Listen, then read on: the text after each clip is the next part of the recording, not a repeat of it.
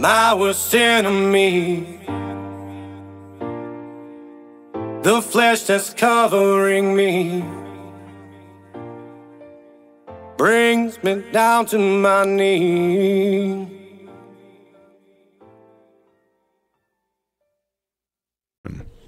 Welcome to Sermons in the Park, a ministry exploring biblical truth from the Word of God, focusing on the truths that help us in our daily walk with Christ in every aspect of our lives.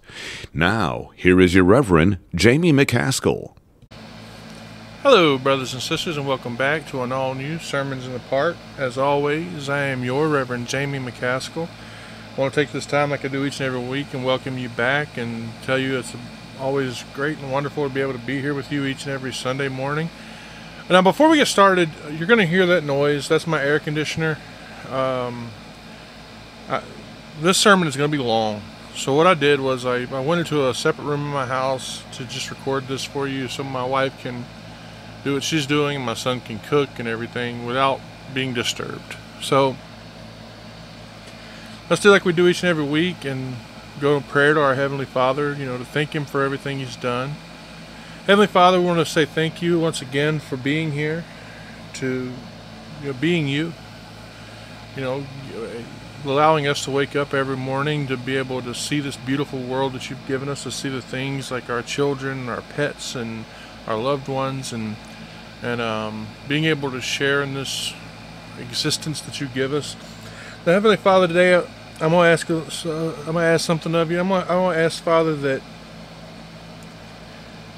you touch our listeners today and open their ears and help them to listen, to feel the weight of truth from the verses we're going to be studying today, Father. That Revelations 14, 9 to 11, and and open their hearts and their minds, especially those who are listening who who may not be a follower of Christ today, and and let them see the the warning that you give us in those verses, Father, to help them to flee back to you, to listen to my words, and, and Father, I, I pray also that you you you touch my lips and my tongue today, and, and help me to to convey the message that you want you wish for our followers to hear.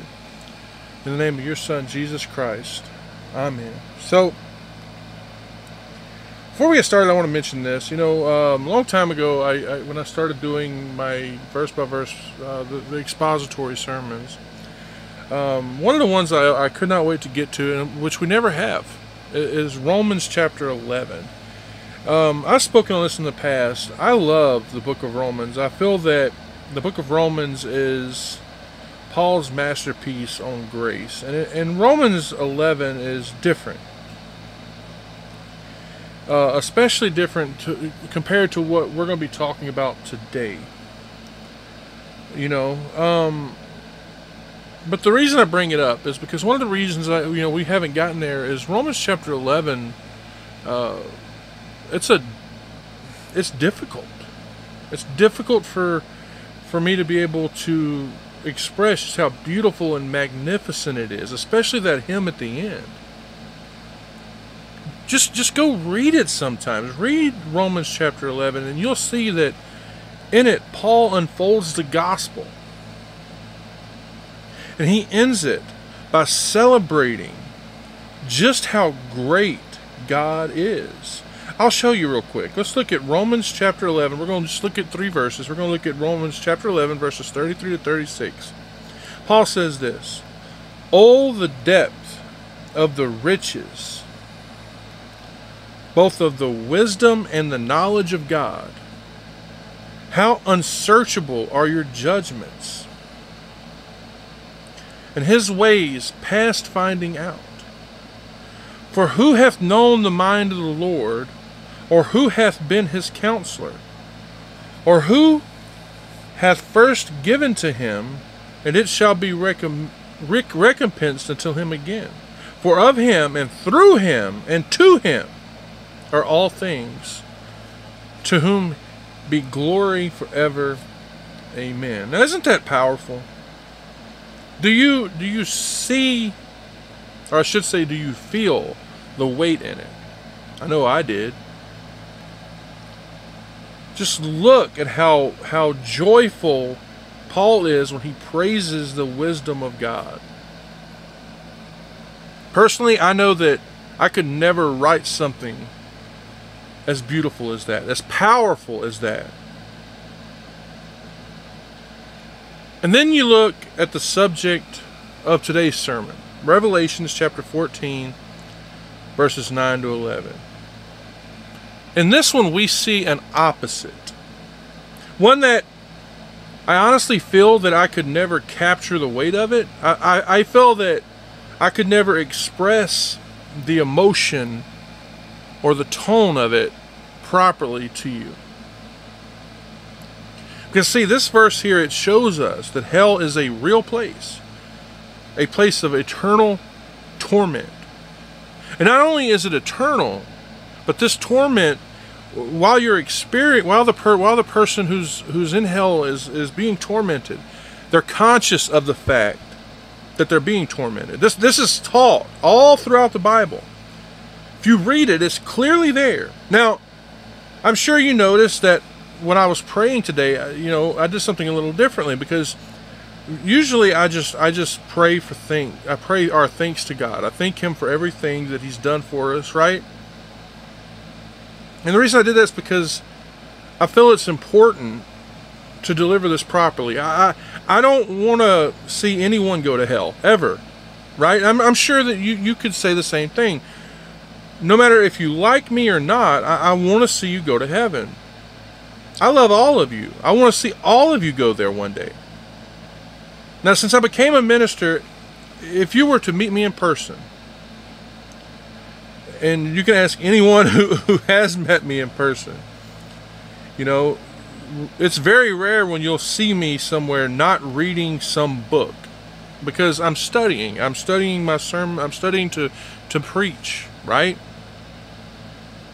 And I once read this book, and, and it, uh, I think it was either a book or it was online because like, I read. I'm always reading. But this minister, he was doing a funeral, and he got to a point where, you know, um, when we do funerals, we uh, I know I do. I ask, does anyone want to stand up and and and speak about the person who's deceased? And he did that. And, and this time, uh, the, the person who died, sister, stood up and spoke about how her sister, you know, didn't love the Bible. She did not love Jesus. She did not go to church. This woman said that she believed her sister was, well, not in heaven. She then told everyone that was there that there was still time for them to come to God. And then the woman sat back down. Now, let me ask you this. How many of any of you would be brave enough to stand up and do that same thing. But honestly, we should none of us should be afraid to do that. We should love everyone enough to warn them, to give them the basic message that we find over in Hebrews chapter 9 verse 27. Give me a second, my computer is I'm trying to get to the verse, but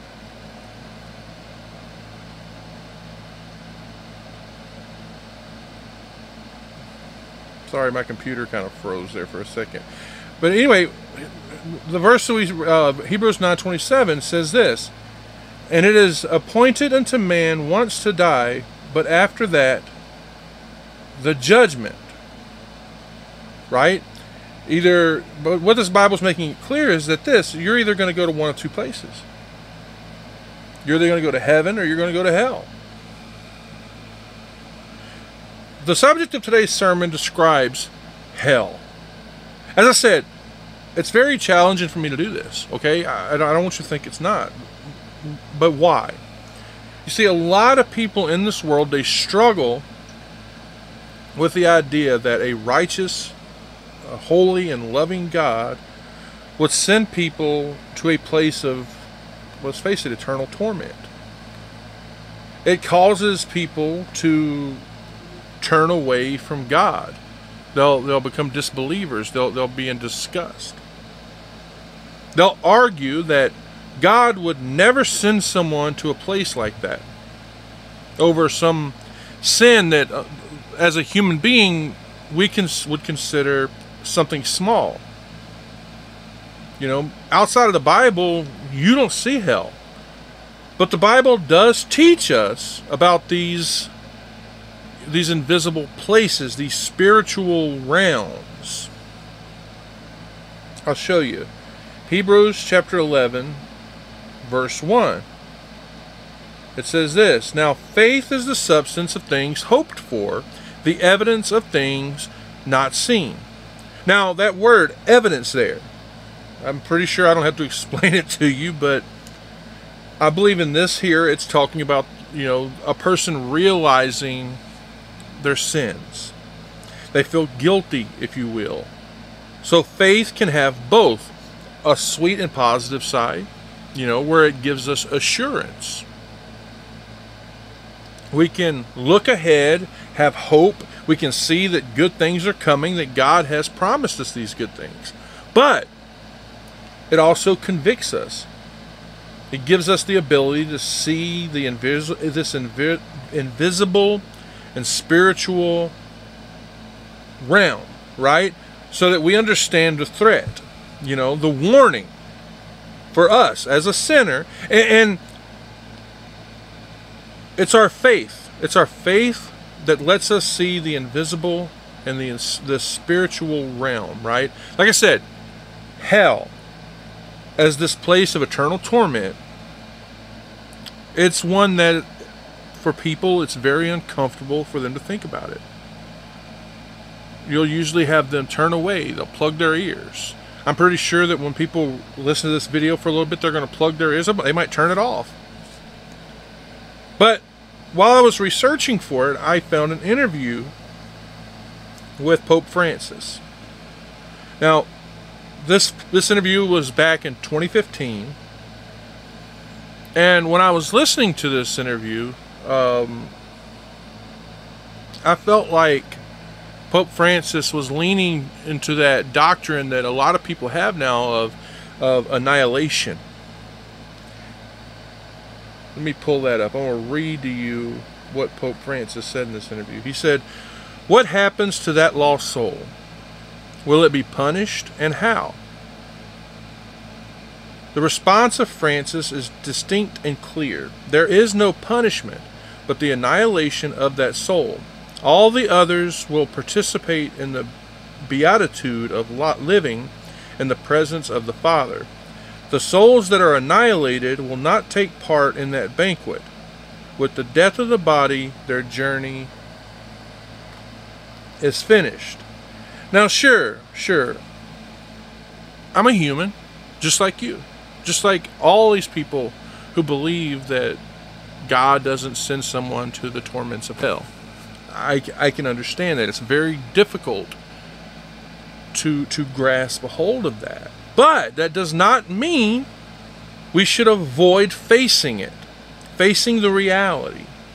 When we read Revelations chapter 14, verses 9 to 11, it helps us to understand what the Bible teaches us about it. Now, You've heard me deliver messages on the end times here many, many times. Um, I find it, some people find it odd just how much I can talk about that and sound joyful with it, right? And it, it makes me think about, like I, have told you in, in the past about my uncle J.W. Prince, whose picture I recently put up on the Sermons in the Park Facebook page um, with his uh, with his obituary. But he was always a very joyful and happy man, no matter what. He was always so happy. What I found as I've gotten more and more into the ministry is that when you meditate, right, on the, on the Word of God, and by that I mean biblically meditate, you find a subject, a subject like like this one, hell. When you meditate on it, you can become you'll you'll find that you become happier than you've ever been. Now I know that sounds odd, but it's the truth. When you meditate on what you deserve, honestly as a sinner, what you deserve, you realize just what Jesus is delivering you from. Right? Now there are several things that can happen. You you'll you'll become more thankful to God and to Jesus. You'll you'll gain a new perspective on the suffering that you you you might be going through right now. You know, you might be hurting, you might be sick. But you'll find a new perspective on it. You'll you'll turn away from all of that complaining that you find yourself doing. The murmuring that you find yourself doing. You'll find yourself full of joy and thankfulness that that God has done these great things in you. Once you get rid of that eternal torment, there's a problem. Because there's that other word, Savior and salvation. You'll find that if you if there's no torment, then a, a Savior is useless. Because when you use those words, Savior and salvation, that implies that someone is saving you from some grave danger, some not some little minor problem, right? If you get rid of that grave danger, you don't need a Savior. But the Bible clearly reminds us that we need a Savior. How we need salvation. We should praise God for that. Because, see, through faith in Jesus, we have salvation. Right now, you and I are still in the days of revelation. We're still being offered salvation. When we look at the subject of today's sermon, Romans chapter I'm sorry, Revelation chapter 14 verses 9 to 11, we find ourselves in the middle of the book of Revelation. In that book, we see the veil is being pulled back on that spiritual and that invisible spiritual realm. We see Jesus, we see his glory, we see the future, and we read, quote unquote, what must soon take place. Now, I've already done a full expository on the book of Revelation. You can find that right here on YouTube or, or um, yeah. And by the time that we reach this spot in Revelation, we, you'll have a full grasp on understanding the spiritual force of evil. That old snake or the dragon, Satan, he has a, a, an incredible hatred for human beings, especially the people of God. He attacks us, right? He accuses us daily, nightly. But, as we see in the book of Revelation, in the future, his attacks on us will become worse we see the devil will bring he'll bring out his masterpiece. Amen. That that antichrist. Now we see the antichrist sometimes called the beast from the sea in revelation especially in revelation chapter 13 now i want to mention this time because i don't think i ever have but nowhere in revelation do we see john use that word antichrist Now he does over in First and Second John. Now that word Antichrist that literally means a substitute Christ, one that what takes the place of Christ.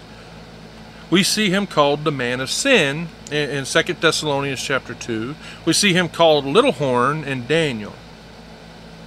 Now, honestly, we know very little about him, right? But I have done several episodes on the Antichrist that you can find on the YouTube channel. But we know that the Antichrist is a world leader. He seems to somehow miraculously resurrect from a fatal wound to his head. Uh, that's in Revelation chapter 13. Personally, I think that this resurrection that I spoke about right now, the, the, the, from the wound in his head, I think that's how he gets full confidence from the world. Now, before that, we know that the world will suffer seven trumpet judgments.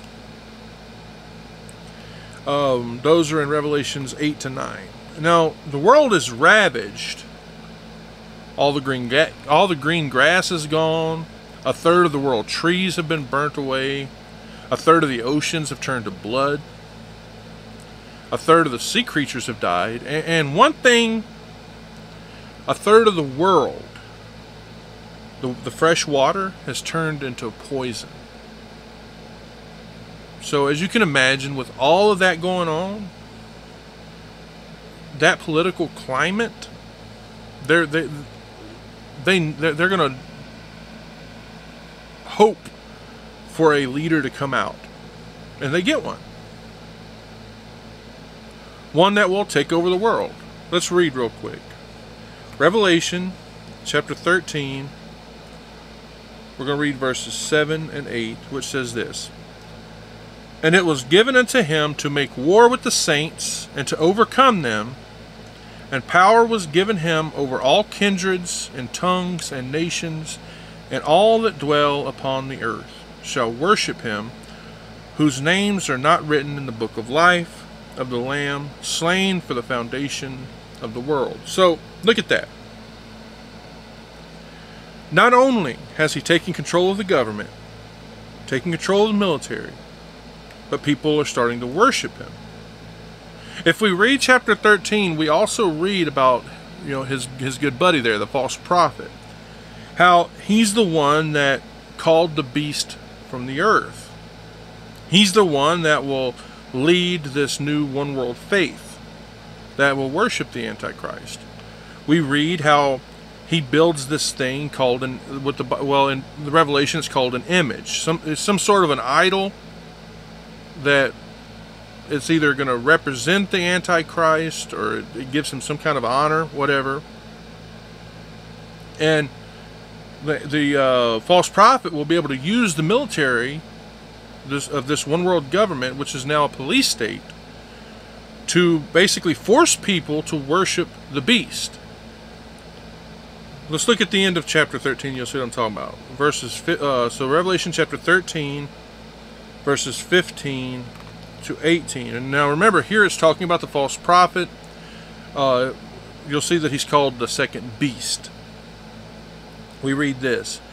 And he had power to give life unto the image of the beast, that the image of the beast should both speak and cause that as many as would not worship the image of the beast should be killed and he causeth all, both small and great, rich and poor, free and bond, to receive a mark on their right hand or their foreheads, and that no man might buy or sell save he that has the mark, and the name of the beast or the number of the beast. Here is wisdom. Let him that hath understanding count the number of the beast, for it is the number of a man, and his number six hundred threescore and six. Now a true Christian the ones that have their their uh, their their name written in the in the Lamb's Book of Life, as we read earlier, they're not going to participate in this false religion. Okay, they'll not. They're not going to want to bow. They're not going to bow down to this idol. They're not going to worship it or him, and they're not going to take his mark. So they're going to face persecution, right? And and this is why we read Daniel say that he will kill them. He will make war against them. And sadly, uh, for a short time, he's going to win. So, you're going to say, why did you go into that? Well, because, as I've said time and time again, context is important.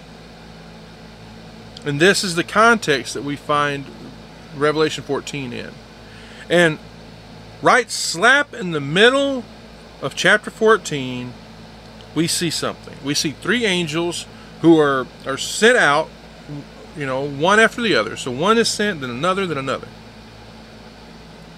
They're sent to warn people of this coming judgment. Revelation chapter 14, we're going to read verses 6 and 7. It says, And I saw another angel fly in the midst of heaven, having the everlasting gospel to preach unto them that dwell on the earth and to every nation, and kindred, and tongue, and people, saying with a loud voice, Fear God, and give glory to him. For the hour of his judgment is come, and worship him, that made heaven and earth and the sea and the fountains of waters. So, right after that, we see the second angel, right? Uh, this is in verse 8. So, let's pull that back up. Revelation chapter 14, verse 8.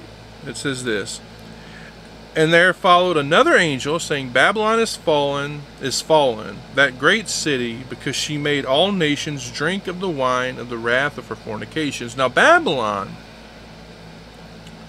that's the culture of the world at that time, of the government. It's, um, they're all united in their rebellion against God. And notice how it tells us that they're following their lusts, their lusts of the, of the eyes, of the flesh. They're, they're, these people are boastful, they're prideful. And then we come to that angel, the third one. This is the now this is the focus of today's sermon. So we're going to actually read now Revelation chapter 14 verses 9 to 11. Let me uh I want to scroll down a little bit here. We read this. And the third angel looked at I'm sorry. And the third angel followed them, saying with a loud voice, If any man worship the beast and his image, and receive his mark in his forehead or in his hand, the same shall drink of the wine of the wrath of God, which is poured out without mixture. Notice that? Without mixture, into the cup of his indignation. And he shall be tormented with fire and brimstone in the presence of the holy angels and in the presence of the Lamb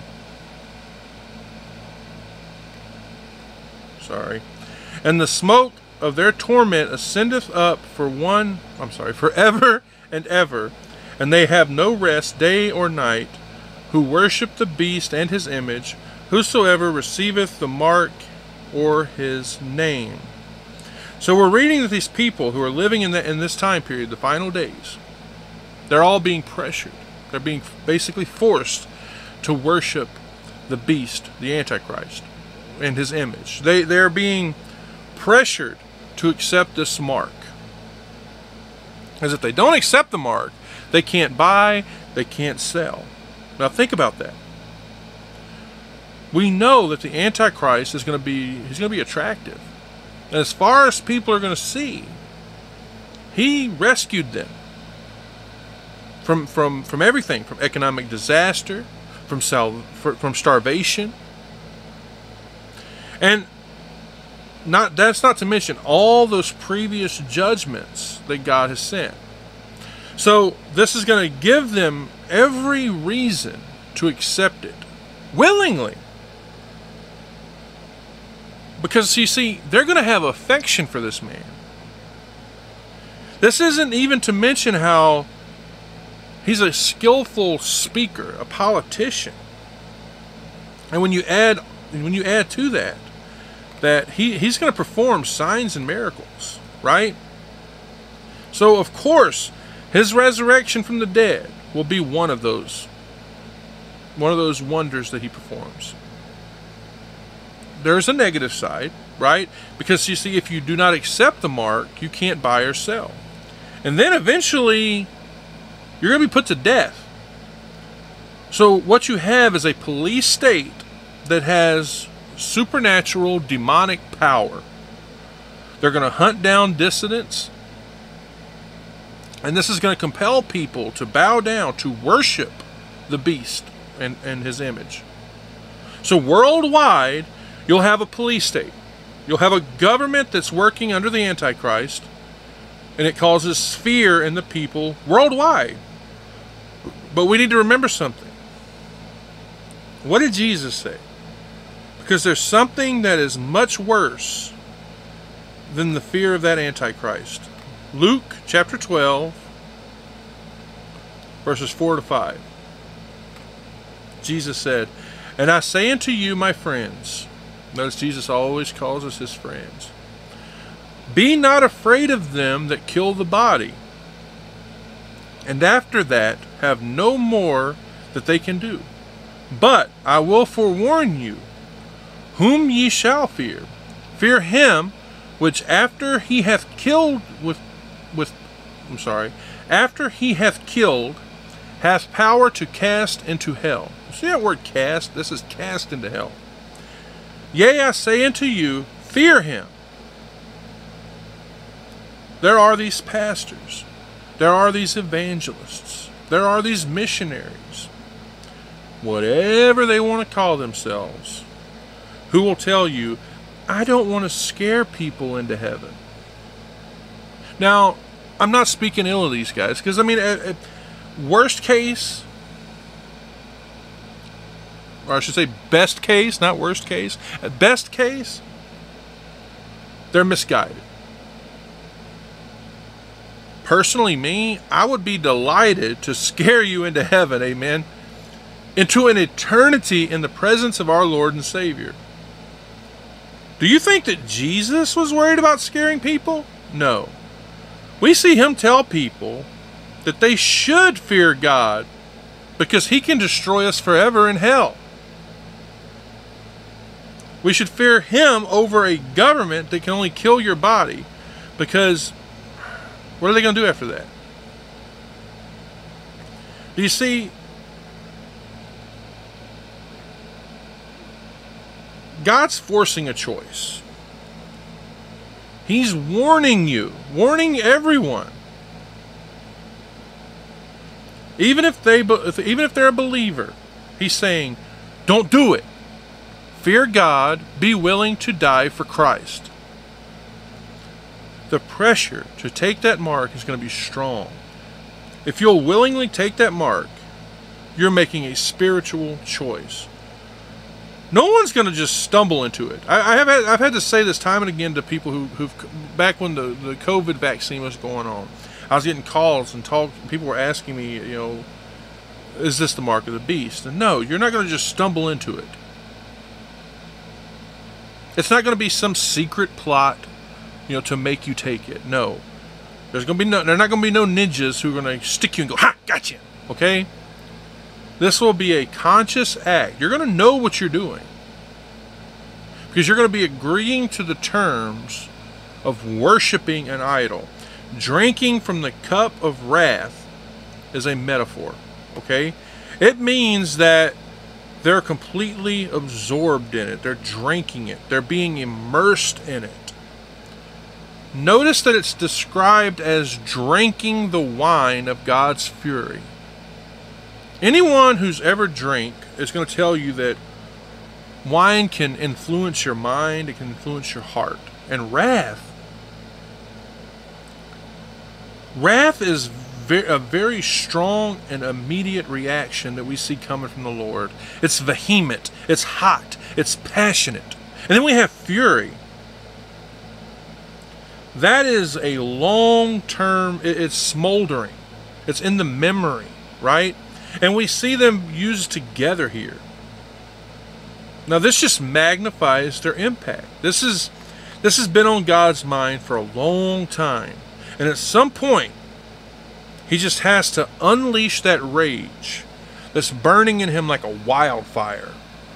Look at how strong it is. It says, The same shall drink of the wine of the wrath of God, which is poured out without mixture. So, without mixture into the cup of his indignation. There is no holding back.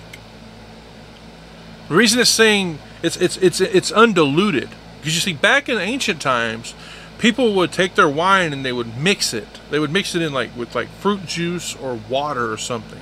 They would dilute it. But right here, God's fury is full strength. When you think about it, it's chilling. God is omnipotent. God, God is omniscient. And you combine that with a laser like focus on the destruction of one man, like a laser beam being focused on one person. That is terrifying. And then we see a, we, see a, a simple prediction here. It says, He shall be tormented with fire and brimstone in the presence of the holy angels and in the presence of the Lamb. That right there has got to be more. It's got to be. It's got to be talking about the lake of fire that we read about in Revelation chapter 20. This torment with fire and brimstone here, this is like what we see in Sodom and Gomorrah. And we also see it's constantly, constantly in front of the Lamb and the holy angels. And that Lamb is, of course, Jesus. That means that Jesus and the angels are watching this. They're not squeamish, they're not embarrassed, there's no shame in it, there's no pity. It's not done in some secret corner. No, no, no, no. God is not ashamed of displaying his righteousness, his justice, and his holiness. When he punishes the wicked any more than, than, than he, he ooh, right? He's not ashamed of it any more ashamed than he was when he destroyed Sodom and Gomorrah with fire and brimstone or even that flood, Noah's flood. There's also another audience here as well. I want you to look at something. Isaiah chapter 66, verse 24. And they shall go forth and look upon the carcass of the men that have transgressed against me. For their worm shall not die, neither shall their fire be quenched, and they shall be abhorred unto all flesh to me, now this this might just be me, but to me this sounds like if you're redeemed, you'll be able to see this. Doesn't that make sense? Why would God hide this from his children? At this point, we could handle it because we know that God's not ashamed of it. He wants us to know about it. I'll show you. Look at Revelations chapter 21 verse 4. And God shall wipe away all tears from their eyes, and there shall be no more death, neither sorrow nor crying, neither shall there be any more pain, for the former things are passed away. Meaning, they'll see it, and they're not going to cry about it. There will be no emotional pain. There will be no anguish.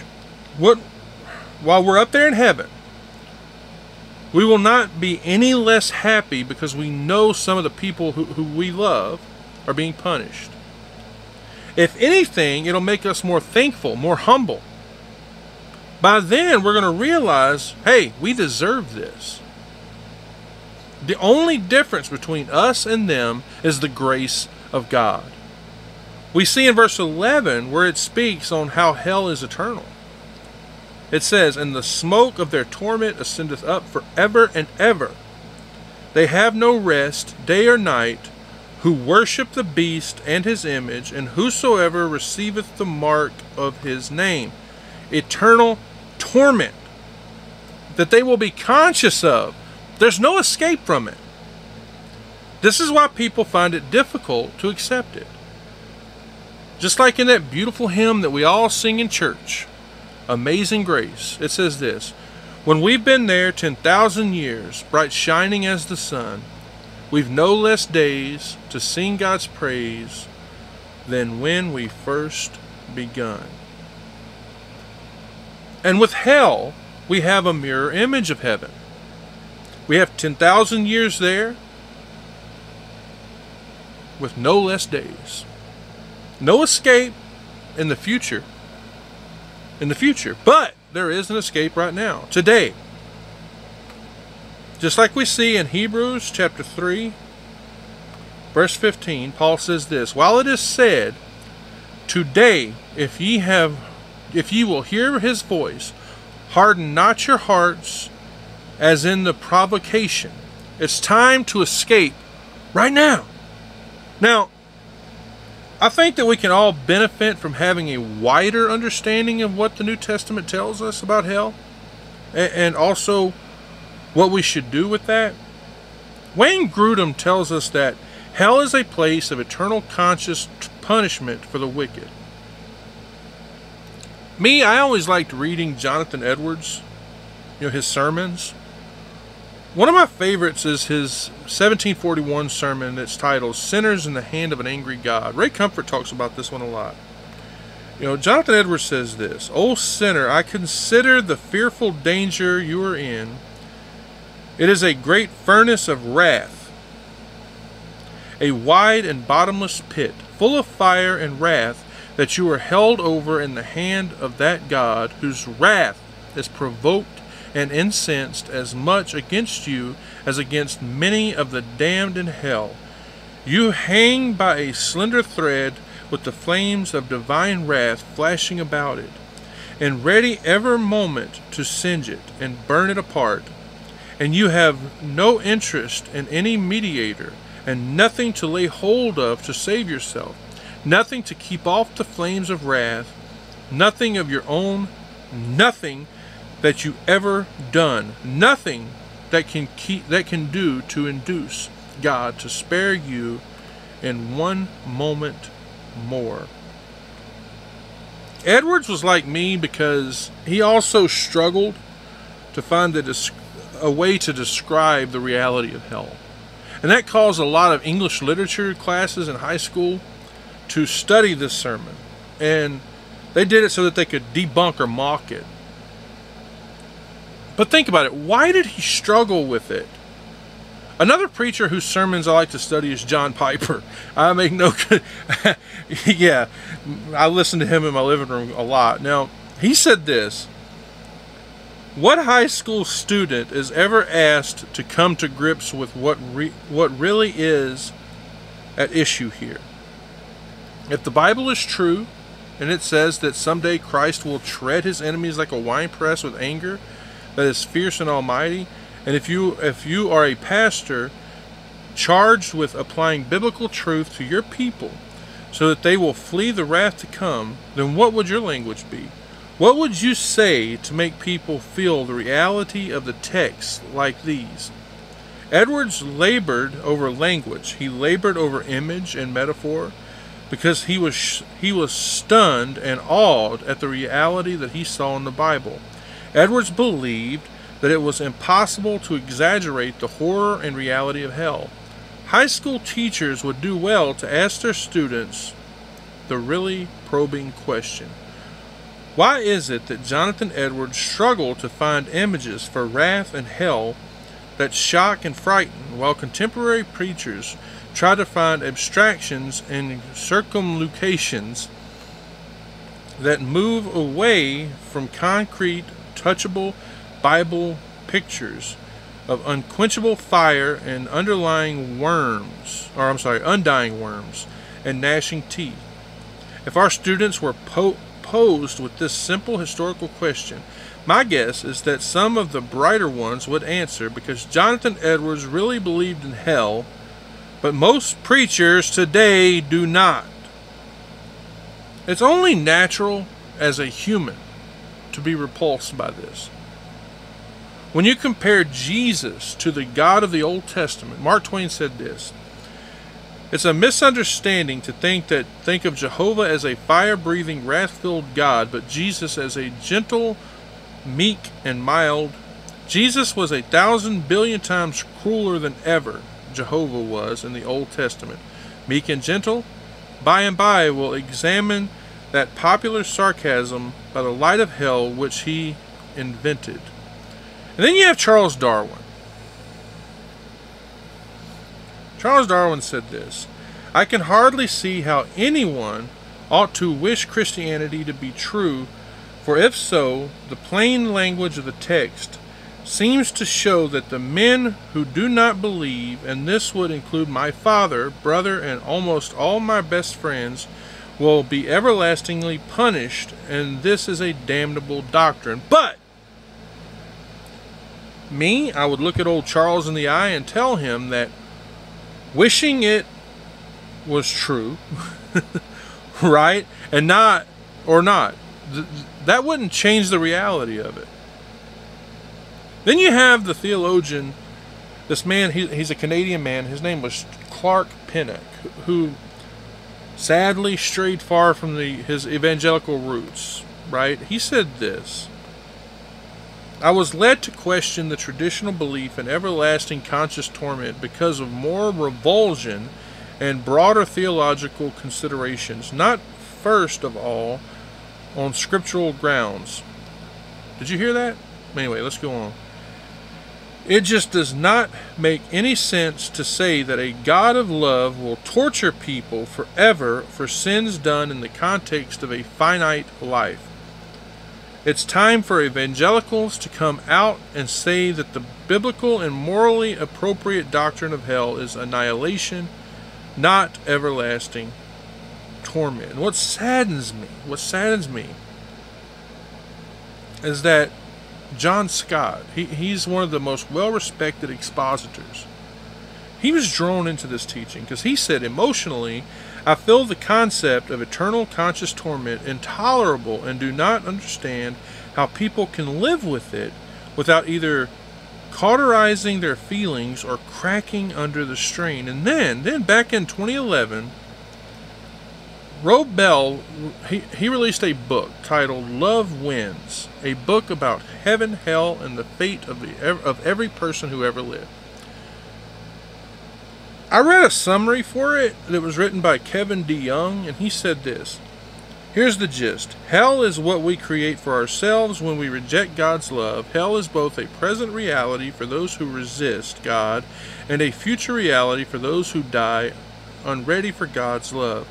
Not quite ready when you die, hell is what we make of heaven when we cannot accept the good news of God's forgiveness and mercy. But hell is not forever. God will have his way. How can his good purposes fail? Every sinner will turn to God and realize that he has already been reconciled to God in this life or in the next life. In the end, love wins. But guess what? The Bible does not teach any of this. Jesus taught more on hell than anyone who ever lived. Because he came here to warn us about it and then to save us from it. Look at his Sermon on the Mount. Matthew chapter 5, verses 21 to 22. It says, Ye have heard it I'm sorry, you have heard ye have heard that it was said of them of old times, Thou shalt not kill, and whosoever shall kill shall be in danger of the judgment.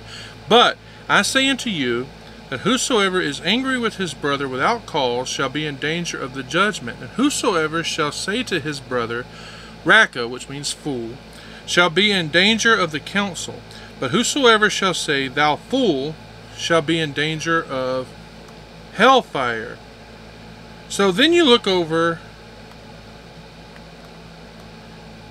at Mark chapter 9, verses 43 to 48. It says, And if thy hand offend thee, cut it off.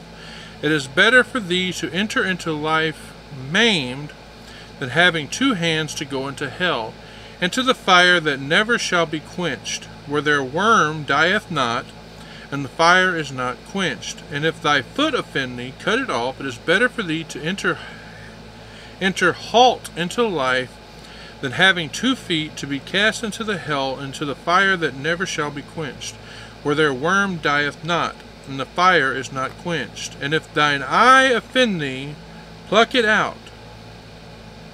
It is better for thee to enter into the kingdom of God with one eye than having two eyes to be cast into hellfire, where the, where the worm dieth not, and the fire is not quenched. Now, back in Matthew chapter, back in Matthew, all right, we find ch chapter 8, verses 11 to 12, which says, And I say unto you, that many shall come from the east and the west, shall sit down with Abraham and Isaac and Jacob in the kingdom of heaven, but the children of the kingdom shall be cast out into outer darkness.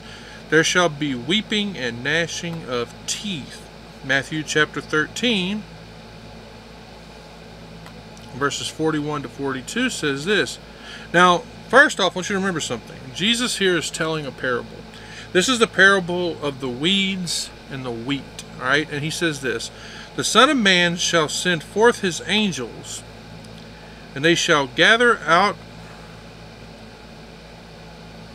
I'm sorry, they shall gather out of his kingdom all things that offend, and them which do iniquity, and shall cast them into a furnace of fire that shall be wailing and gnashing of teeth. Then in Luke chapter 16, verses 23 to 24, this time, right, we're looking at that story of Lazarus and the rich Lazarus and the rich man. Which, uh, if you want, I, I, did a whole sermon on that uh, a while back. Um, there we read this. Jesus says this, and in in hell he lift up his eyes, being in torment, and seeth Abraham afar off, and Lazarus in his bosom. And he cried and said, Father Abraham, have mercy on me, and send Lazarus that he may dip the tip of his finger in water and cool my tongue, for I am tormented in this flame. So, just from these verses alone, and others that we could look into, but we're not going that far. How long does it last? Forever, right? We see its environment. We see the effects. So you might ask, well, what's the purpose of it? Well, hell is punishment. Punishment for those who are unrepentant, right? Who, who did not accept Jesus as their Lord and Savior, right? You have your you have your sins of commission. By that I mean things like that you you should you should not have done. That's your sins of um, you know commission. Then you have your sins of omission. That's when you did not do something that you should have done. Look at Revelation chapter 21, verse 8. Let me uh, scroll down again, sorry. It says, By the fearful and unbelieving and the abominable and murderers and whoremongers and sorcerers and idolaters and all liars shall have their place in the lake which burneth with fire and brimstone, which is the second death. What about the fear of, what about the sin of omission? Right? Let's look at Matthew chapter 25 verses 41 to 42 because you see a lot of people they what is they, they look at me go that's not one but anyway read, read right here Matthew 25 verses 41 to 42 then shall he say also unto them on the left, Depart from me, ye cursed, into everlasting fire, prepared for the devil and his angels. For I was an hungered, and ye gave me no meat. I was thirsty, and ye gave me no drink. So, you might be asking, what percentage of people will end up in hell? Well, Jesus tells us. Matthew chapter 7, verses 13 to 14. Enter ye into the strait gate, for wide is the gate, and broad is the way that leadeth to destruction. And many there be which go in thereat. Because strait is the gate, and narrow is the way which leadeth into life, and few there be that find it. So we see what? We see many. We see few.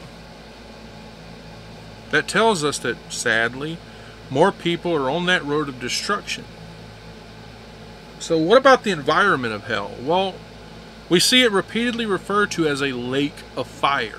There are so many people who try to say, oh, preacher, that's just a metaphor. So, I ask you this a metaphor for what? Metaphor is just a word. It's a, and even and even then, when you see it used as an expression, it's usually less than the thing that you're trying to compare it to. So honestly, does that ease the reality of what hell is? What about the effects? First off, we need to realize that every good and perfect gift that we have, that you've ever experienced, that includes common grace blessings. All of them come from where? From God. They show us something. They show us that God is here, God is present. So, first, we see all of those things are going to be removed. Why? Because God isn't there. There's God's presence is gone. So, why is it so important for me to point that out? Because we find that any of the unsaved people are going to tell you this and I've heard it so many times. They want to go to hell because that's where their friends are. But you need to remember something friendship is a blessing. And that, that blessing includes things like joy, celebrating, happiness. All of that is gone. And you'll find all you're going to find there are bitterness and anger, suffering, hatred, all of those pleasures of life, lawful and unlawful, all of it. All of it that you traded for your soul, gone. The Bible makes it clear everyone in hell is cast out and separated from everything that's good. Second Thessalonians chapter 1 verses 8 and 9. In flaming fire taking vengeance on them that know not God, and they obeyed not the gospel or our of our Lord Jesus Christ, who shall be punished with everlasting destruction from the presence of the Lord and from the glory of his power. So what happened? They're shut out. Just like those five unprepared virgins that we see over in Matthew chapter 25, verses 11 2. Jesus says, After came also the other virgins, saying, Lord, Lord, open to us. But he answered and said, Verily I say unto you, I know you not. It's our responsibility as Christians to tell people the truth about hell. Especially when they speak of it so lighthearted and say that they would rather go to hell. We need to realize that yes, this conscious torment, yes, it's taught in the Bible. Look at the parable of the rich man and Lazarus. Like I said, I've done at least two sermons on this one. In that parable, we see the rich man is unaware of what he, of, I mean, I should say, he is aware. He's aware of where he is. He also knows his own story. Look what Lazarus, look what Abraham says to him. Luke chapter 16, verse 25. But Abraham said, Son, remember that thou in thy lifetime receivest thy good things, and likewise Lazarus evil things. But now he is comforted, and thou art tormented. And then we read that he knows that his brothers, he knows that he wants to warn them. He also regrets how he had acted. This shows us that the people in hell, they're conscious of their torment. We see that hell is everlasting. The fire never goes out. Look at Revelation chapter 14, verse 11. It says, And the smoke of their torment ascendeth up for ever and ever, and they have no rest day nor night, who worship the beast and his image, and whosoever receiveth the mark of his name. The fourth thing we need to realize it's a place of regret. Look what we see in Matthew chapter 13, verse 50. And shall cast them into the furnace of fire. There shall be wailing and gnashing of teeth. The and the fifth thing is that the place is utter darkness. Matt, look at Peter chapter. I'm sorry, Second Peter Oh boy, Sorry, I've been backed up too far.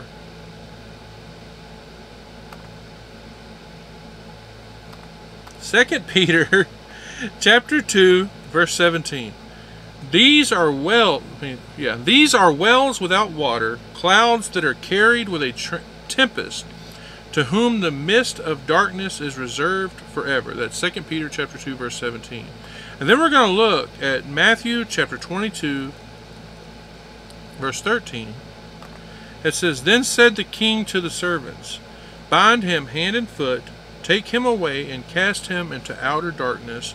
There shall be weeping and gnashing of teeth. As a Christian, you need to stand against that sentiment belief that God does not send anyone to hell. This is one that I hear from a lot of people fellow believers.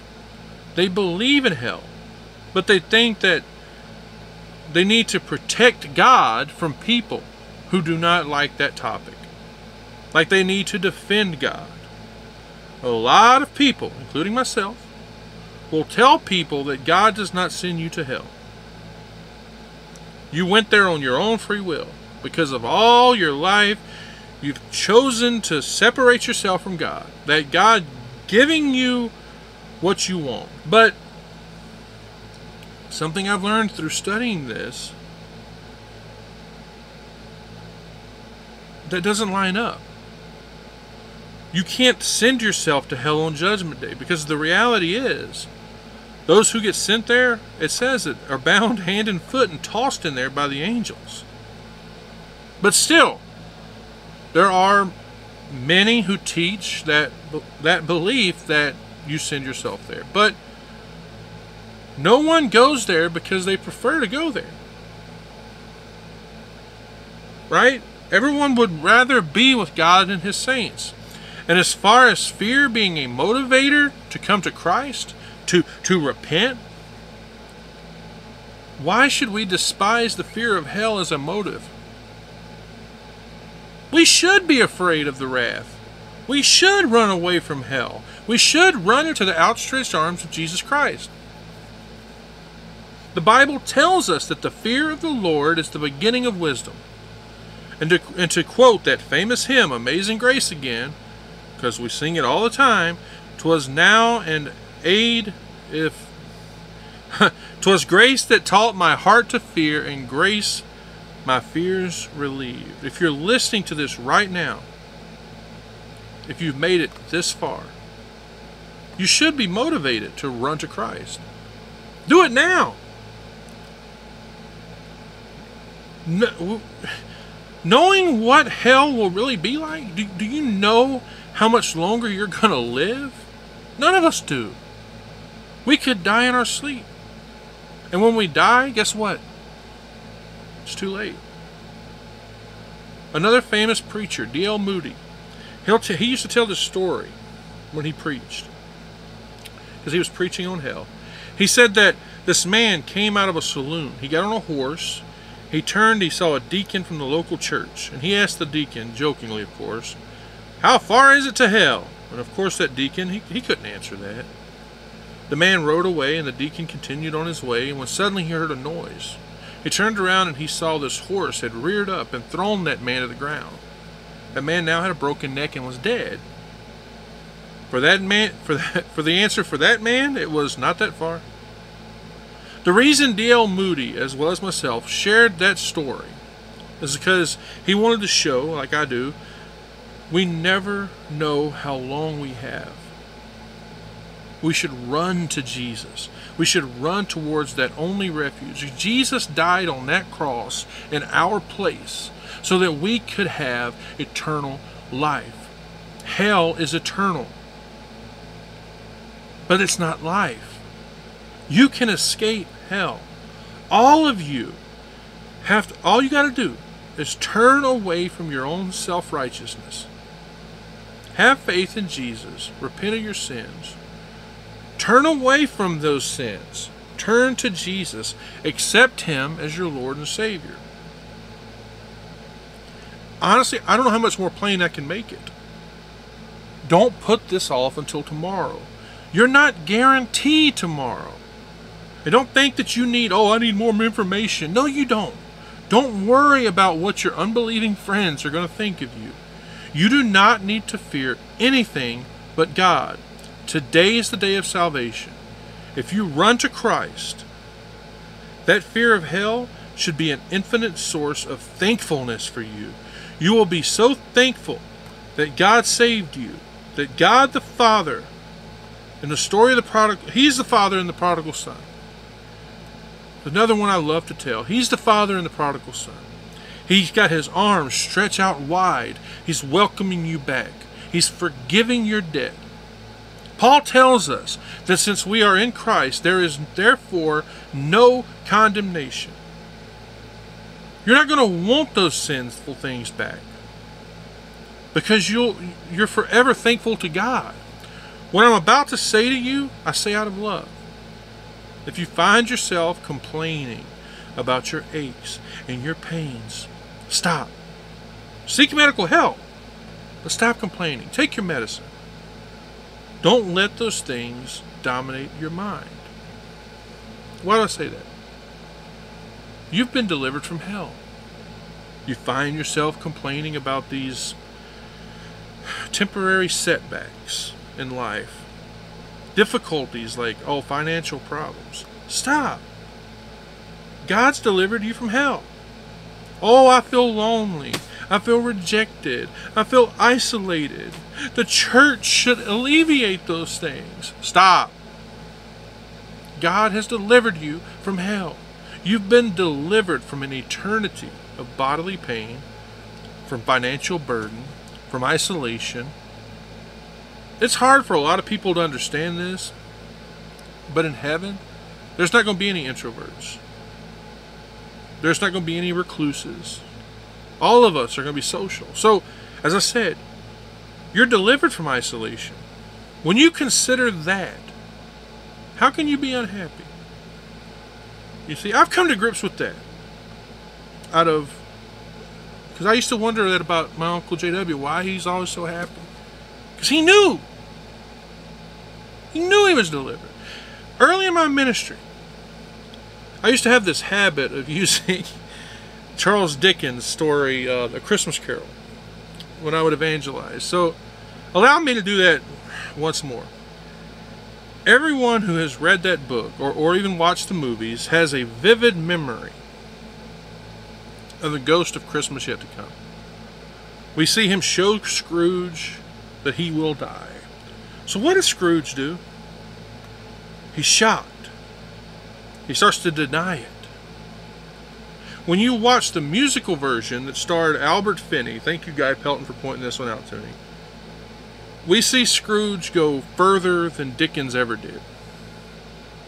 In that one, we see the ghost show Scrooge an image of himself in hell.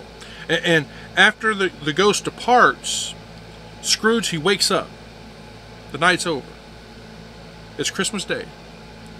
Scrooge is hugging the bedpost when suddenly he realizes he's not in hell anymore. He's alive. What happens? He starts to give everything away. He starts to do good things. That's how any of us would respond. He has a sudden joy. He's he, happy. He's energetic.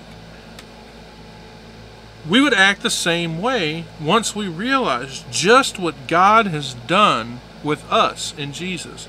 As Paul says, we're free from condemnation.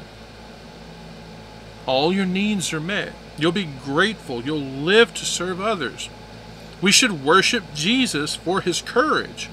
When we do, we can, as the hymn says, go with me to dark Gethsemane.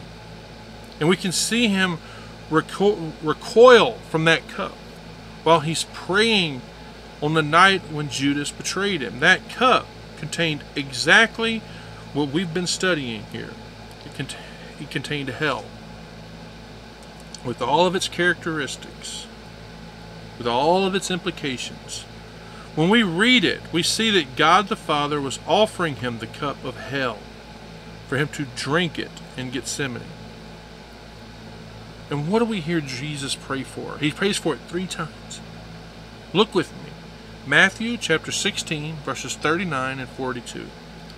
And he went a little further and fell on his face and prayed, saying, O oh, my Father, if it be possible, let this cup pass from me.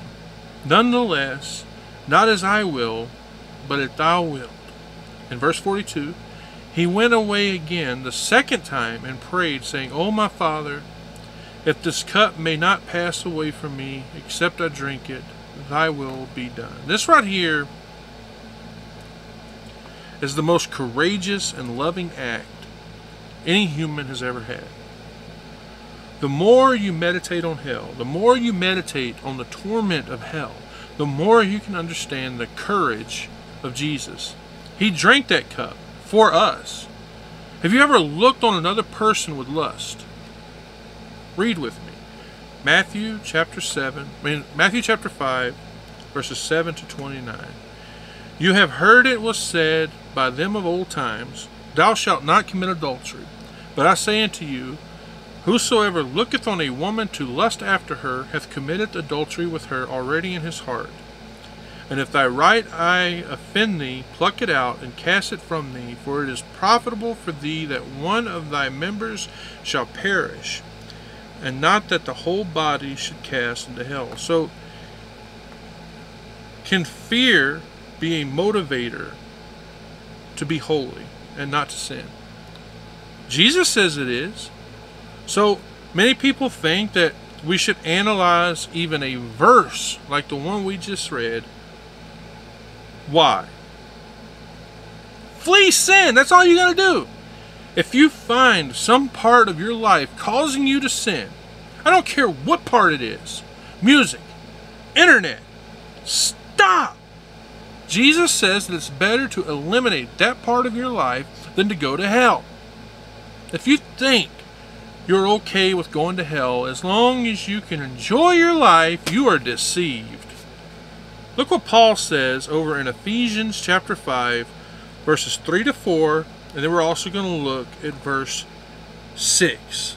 But fornication and all uncleanliness and covetousness, let it not be once named among you as becometh saints, neither filthiness, nor foolish talking, nor jesting, which are not convenient, but rather give of giving of thanks.